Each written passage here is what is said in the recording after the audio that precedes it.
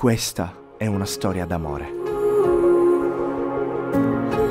Una storia d'amore in Islanda.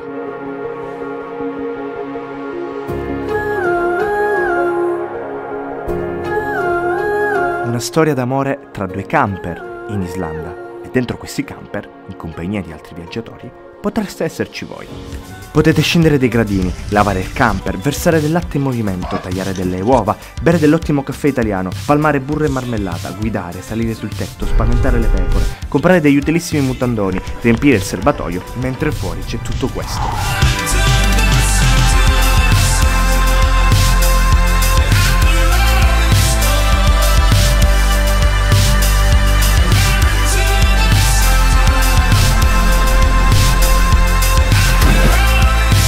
Che cosa aspettate? Mollate Milano Marittimo Gallipoli e andiamo in Islanda quest'estate.